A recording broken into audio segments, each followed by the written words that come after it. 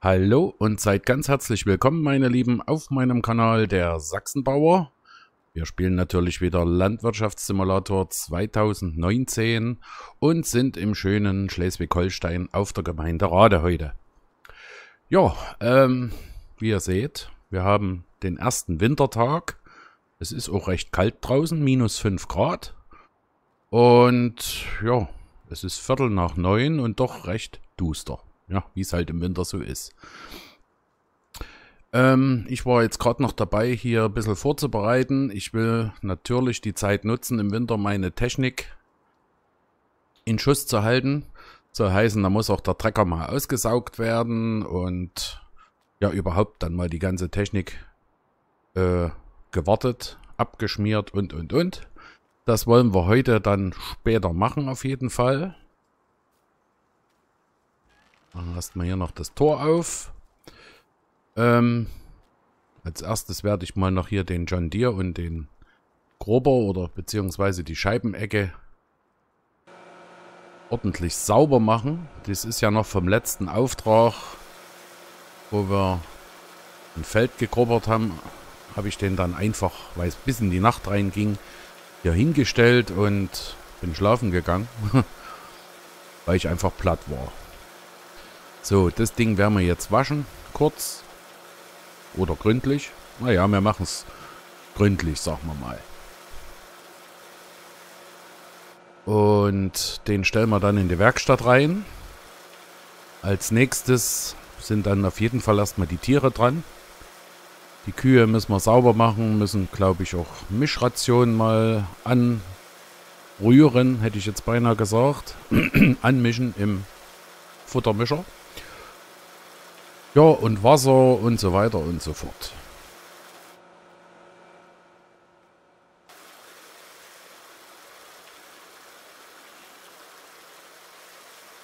Ja, es folgen jetzt auf jeden Fall sechs lange Wintertage wo ich sehen will, tja, was machen wir da am besten? So viele Tiere habe ich nicht zu versorgen. Ich habe auf jeden Fall meine Ernte will ich verkaufen. Und ja, mal gucken, ob es noch was an Aufträgen gibt oder so. Könnte ja noch sein, bis der Schnee kommt. Mal gucken. So.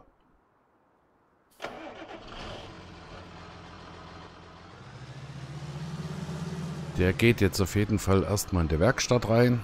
Das ist der erste, der hier gründlich gepflegt und gewartet wird.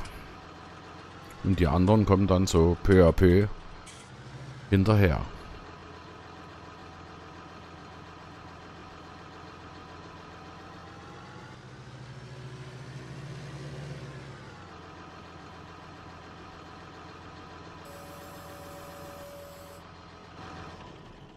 So.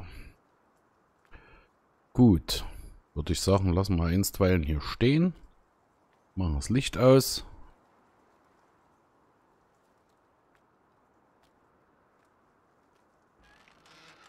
Tor zu. Wenn es jetzt so kalt ist, muss man natürlich immer darauf achten, dass wir Tür und Tor geschlossen halten.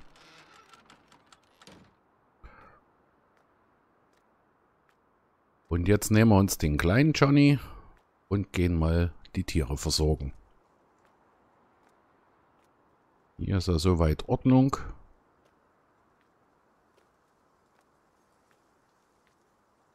Das habe ich eigentlich noch versucht jetzt, den letzten Herbsttag hier ein bisschen Ordnung zu halten. Mal sehen, ob mir das so weiterhin auch gelingt.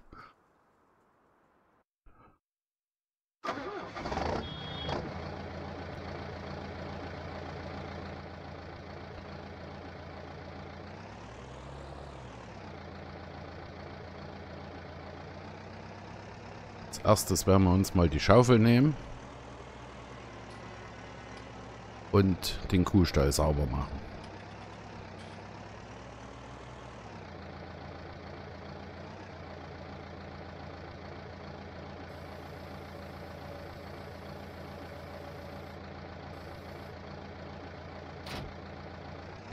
Und die Schaufel ist aber am anderen Frontlader dran. Deswegen werde ich den jetzt mal hier daneben stellen, dass ich hier nicht so viel hin und her wechseln muss.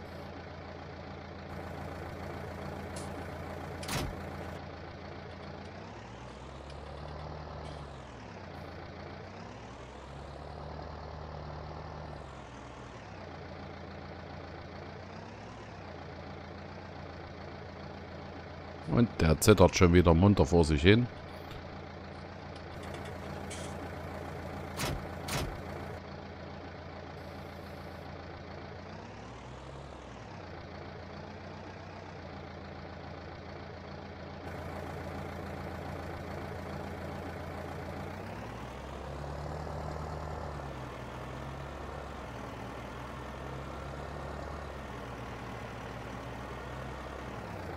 Mist haben sie ja schon ganz schön produziert. Ich habe denen ja jetzt noch Stroh mitgegeben, weil ich ja irgendwo Sorge habe, dass die Gesundheit mir bis zum Frühjahr sonst nicht bei 100% ist. Die sind jetzt, glaube ich, bei 75. Ähm, ja. Deswegen habe ich mich dann doch entschieden, da noch Stroh reinzumachen. So, hier müssen wir auch noch aufmachen. Wenn es denn geht. Hallo?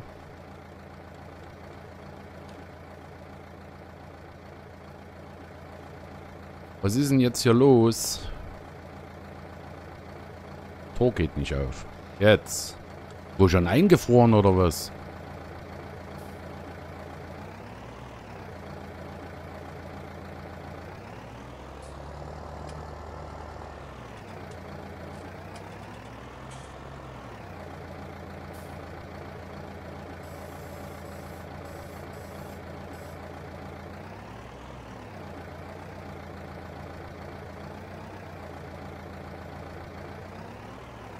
So, so viel Dreck ist es eigentlich gar nicht.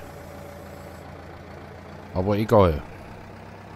Jetzt ist, denke ich, äh, Sauberkeit und Hygiene, gerade im Winter, wenn sie dann vielleicht nicht mehr rauskommen, äh, sehr, sehr wichtig. Apropos rauskommen, bin ich mal gespannt, äh, ob die dann, wenn Schnee liegt, trotzdem raus auf die Weide gehen. Da keinerlei Ahnung, wie das so sein wird. Noch sind sie ja draußen, noch finden sie anscheinend auch Gras. Ja, wird auf jeden Fall eine ganz spannende Geschichte werden, denke ich.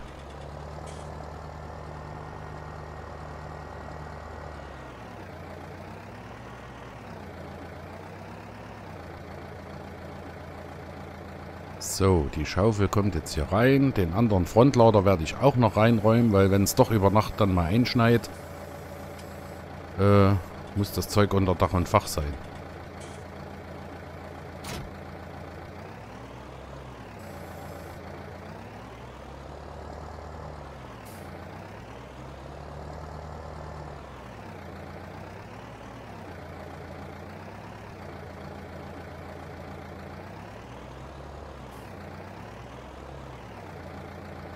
So. Müssen wir uns erstmal den Futtermischwagen holen. Der sollte noch, genau, da hinten sehe ich ihn schon rausgucken. Am Stall stehen. Da steht er zwar überdacht, aber hm. Ich denke, im Winterhalbjahr werde ich den auch irgendwo in die Halle stellen. Nicht, dass das Ding mir anfängt zu rosten.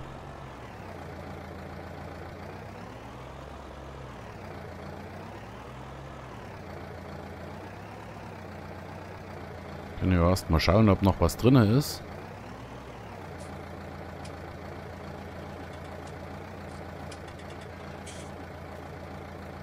Boah, komme ich hier nie vorbei oder was? Mann.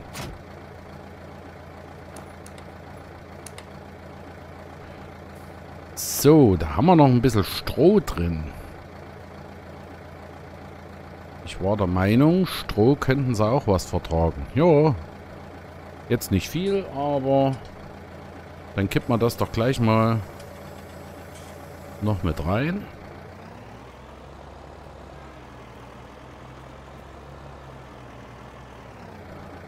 Den blöden Anhänger hier, den muss ich auch woanders hinstellen. Den habe ich so clever hier hingestellt. Ist einfach immer nur im Weg, das Ding.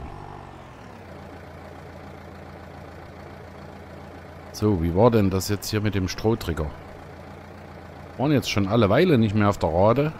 Das habe ich schon fast vergessen. Ich glaube, der ist am anderen... In dem anderen Gang. Na gut, äh, dann muss man einfach mal eine Runde fahren. Nützt ja nix.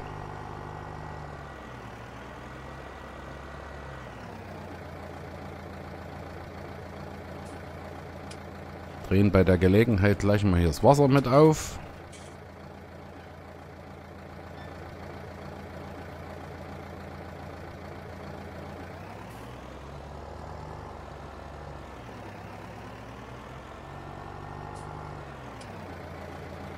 So, und schon wieder ist der Anhänger am Weg.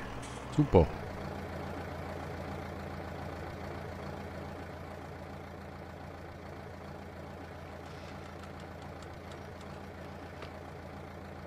Hm.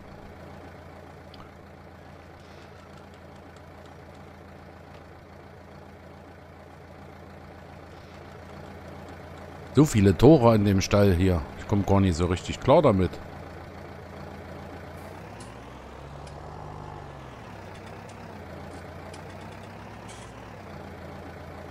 Jetzt müssen wir den irgendwie hier reindrücken. Das wird wahrscheinlich in dem Winkel, hm, schwierig.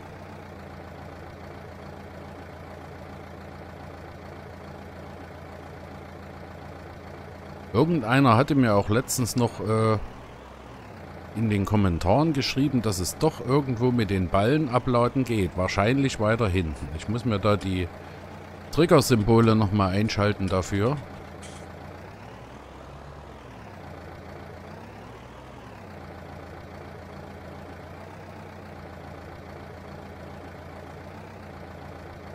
So, hier war das doch meiner Meinung nach mit dem Strom.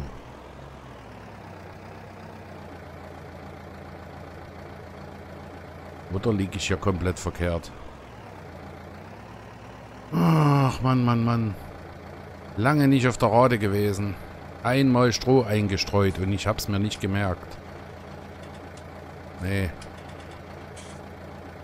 Nee, hier ist es nicht. Dann ist es doch nebenan da, wo das Stroh liegt, wo es eigentlich auch hinkommt. Ach, Mann, Mann. Sachsenbauer.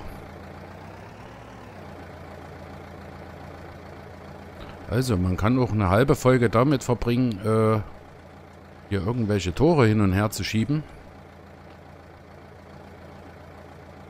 Um endlich mal die, was waren es, reichlich 1000 Liter Stroh loszuwerden.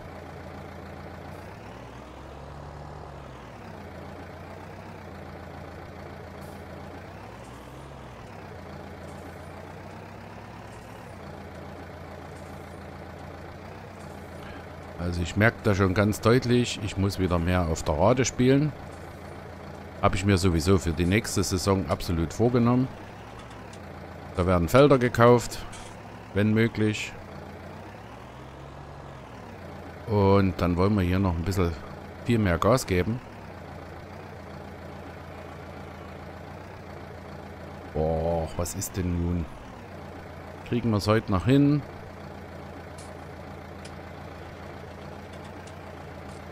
Kriegt das Stroh hier nicht los.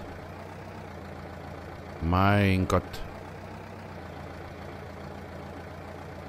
Der Futtermischer ist angewählt. Das muss doch gehen. Abkippseite. Rechts. Ja. Manchmal ist es ganz einfach. Man darf es nur nicht so kompliziert machen. Okay. Lange Wert wird gut.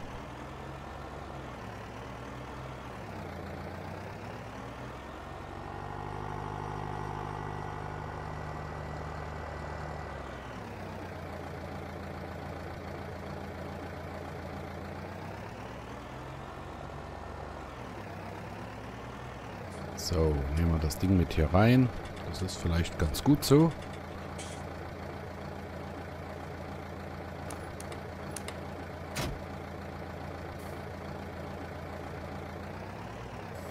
Alter, hier hinten stehen doch auch noch Heuballen. Die werden wir gleich erstmal als erstes nehmen. Upp, boah. Super. Das wird sowieso nicht gut gehen, wie ich mich kenne.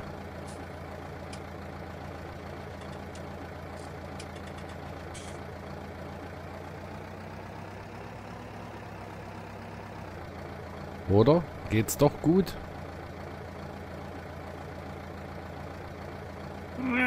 Natürlich nicht.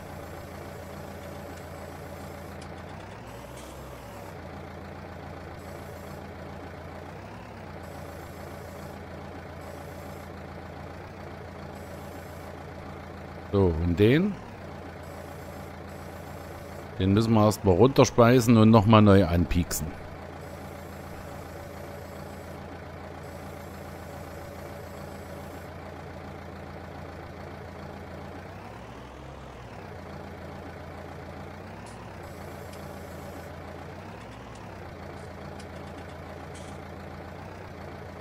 Na.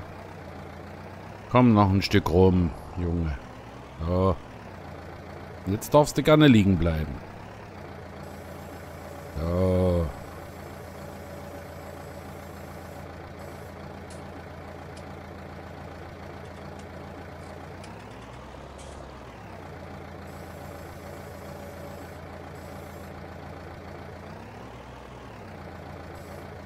Okay, damit haben wir zwei Heu.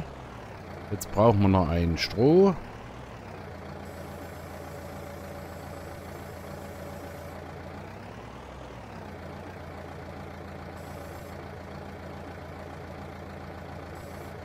Und ein Silage.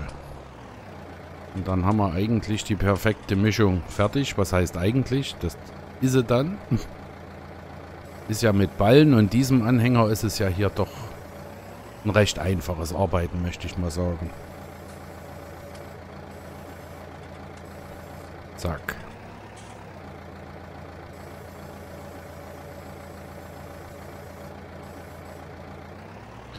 So, jetzt müssen wir draußen noch einen Silageballen holen.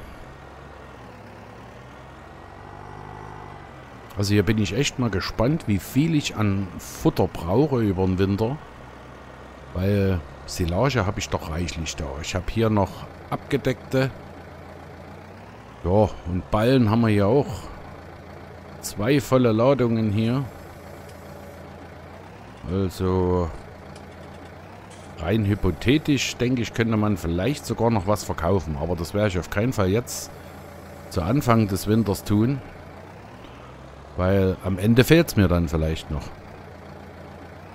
Aber vielleicht dann zum Frühjahr hin, wenn wir wieder das erste Gras mähen können, habe ich mir überlegt, könnte man vielleicht, wenn der Preis gut ist, äh, mit der Silage noch ein bisschen Geld verdienen. Und Geld brauche ich auf jeden Fall noch für Landkauf.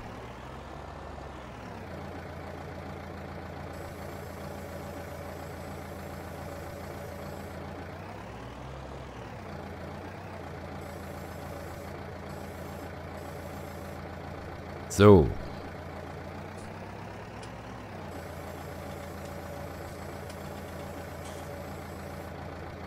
Ich denke, den Frontlader, den werden wir jetzt komplett hier abmontieren. Den brauche ich nicht, weil ich will dann noch äh, die Anhänger ankoppeln.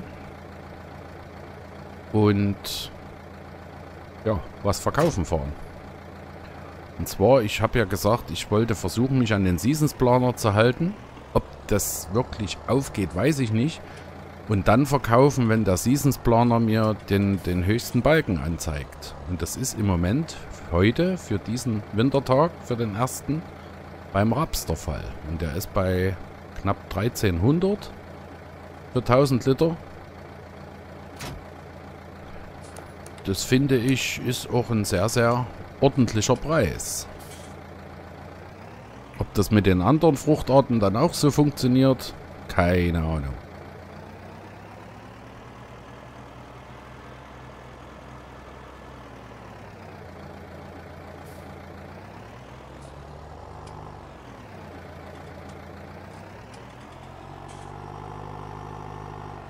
So, und da wir jetzt einmal die Abkippseite auf rechts gestellt haben, Werden wir auch gleich so rum hier reinfahren.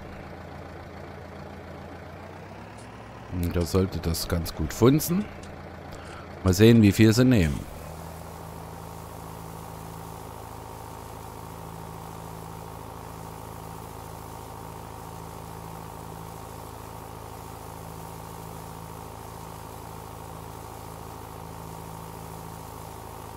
Die nehmen wohl fast alles, oder?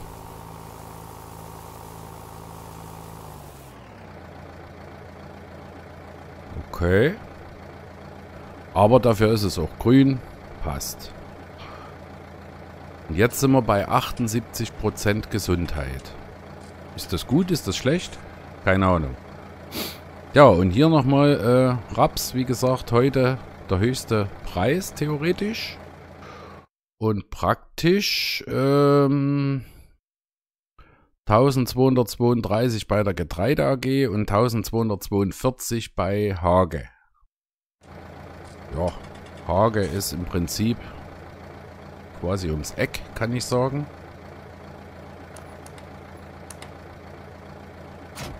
Und die Getreide AG, ja, da müssten wir halt ein ganzes Stück fahren. Oh ja, und das... Die vierte Zahl, und nee, die dritte Zahl nach dem Komma macht auch noch irgendwas aus. Von daher denke ich, werden wir zur Hage fahren und werden das dort verkaufen.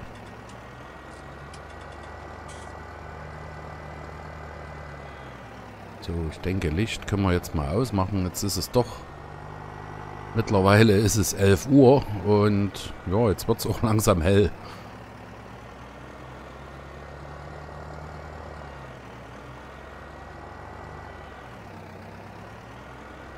Also hänge ich mir jetzt mal noch die HW80 an. Die hätte ich ja ganz gern im Winter auch noch irgendwo untergestellt. Entweder im Stall, ich muss mal gucken, wo noch Platz ist, wo ich die jetzt vielleicht gleich als Zug so irgendwo drunter ziehen könnte.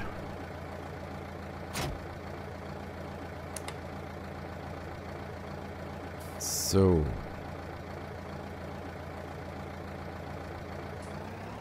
Also ab ins Hofsilo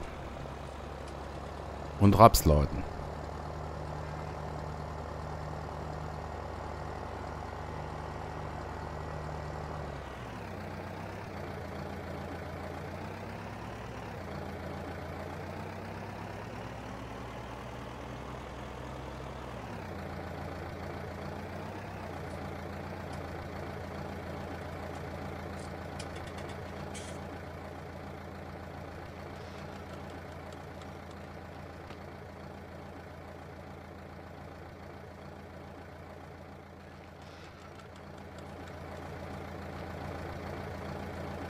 Ich hoffe, ich denke, hm, ich wünsche, dass ich hier jetzt gut reinkomme, aber ich denke, das passt schon. Muss. Es muss. So, das Entnahmerohr ist ungefähr in der Mitte. Boah, sehe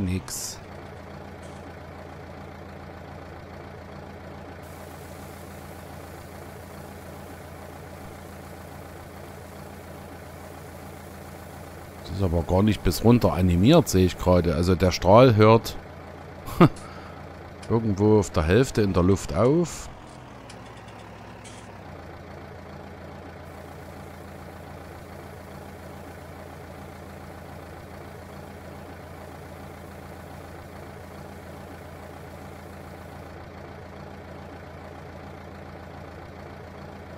So, machen wir hier zu. Und jetzt müssen wir hier noch rumzirkeln. Okay, das passt. Ja, und dann fahren wir jetzt zur Hage. Klar.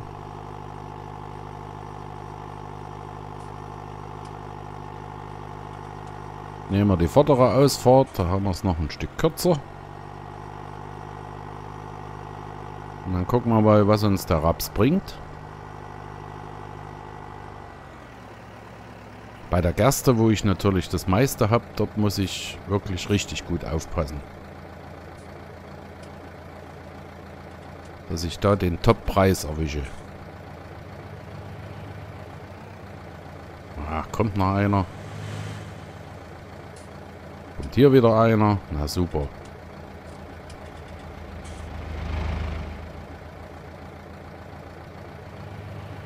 Ist irgendwie gerade Raschauer hier. In Rade. Und noch einer. Na toll.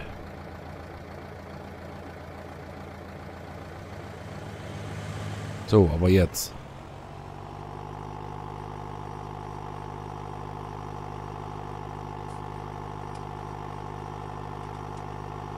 Ah, da ganz schön zu kämpfen hier, der Kleine. Aber die vier Zylinder, die schlagen sich wacker.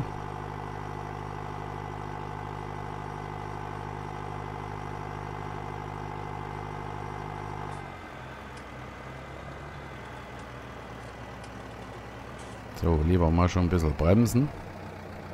Ich denke, die Anhänger, die schieben auch ganz ordentlich. Oh ja, oh ja, oh ja, oh ja. Ja, du brauchst nicht hupen. Ich muss jetzt erstmal hier den Verkehr abwarten. Weil ein bisschen ausholen muss ich ja schon. Auch wenn die Drehschemel gut nachlaufen.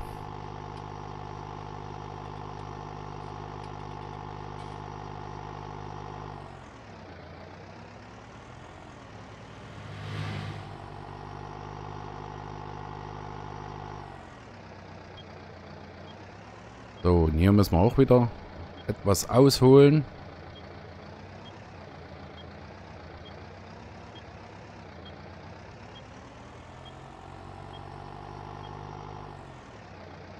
Jetzt weiß ich gar nicht, wo wir es abgeben müssen. Aber ich glaube hier ähm, auf der linken Seite an dem Gebäude an der Rückseite.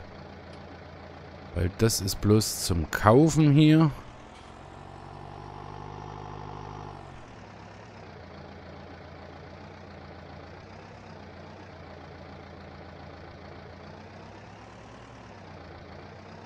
Genau, hier sieht's gut aus.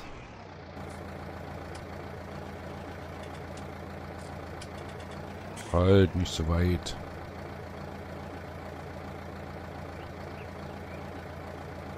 Gut, dann gucken wir mal auf den Kontostand. 209.767. Mal sehen, was es uns in die Kasse spült.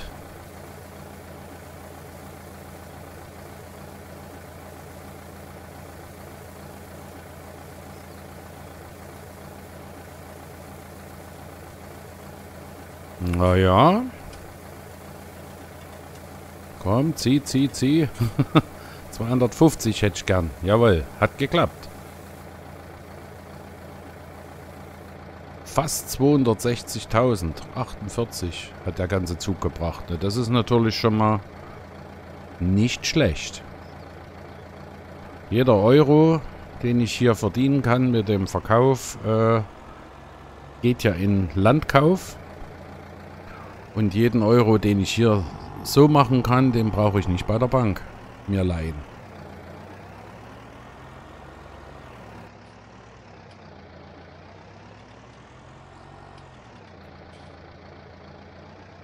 Muss natürlich auch immer wieder bedenken, äh, wir können nur jetzt verkaufen. Ne? Im Frühjahr dann äh, sieht es schlecht aus und ich muss dann irgendwann auch wieder äh, Maschinen anmieten. Gerade Drescher und so. Sowas werde ich mir nicht kaufen. Oh, sorry, sorry, sorry. Sowas werde ich mir nicht kaufen. Äh, den werde ich mir wieder mieten. Das hat ja in der jetzigen Saison recht gut geklappt. Und das werde ich auch wieder so machen wollen. Aber dafür müssen wir halt immer noch ein finanzielles Polster lassen. Aufträge können wir auf jeden Fall machen. Also das darf ich nicht aus den Augen verlieren. So. Na gut. Das hat soweit erstmal ganz gut geklappt. Plan ist aufgegangen. Und ja, schauen wir mal, wie sich die ganze Sache weiterentwickelt. Für heute würde ich sagen, lassen wir es gut sein. Ich bedanke mich bei euch fürs Zuschauen. Hoffe, es hat euch gefallen. Wenn ja, lasst doch gerne ein Däumchen da. und noch einen schönen Kommentar dazu. Freue ich mich auch immer sehr drüber. Und beantworte die natürlich auch immer. Alle und auch sehr gerne. So, hier machen wir jetzt noch die Planen zu. Motor aus. Und damit sage ich Tschüss, bis zum nächsten Mal.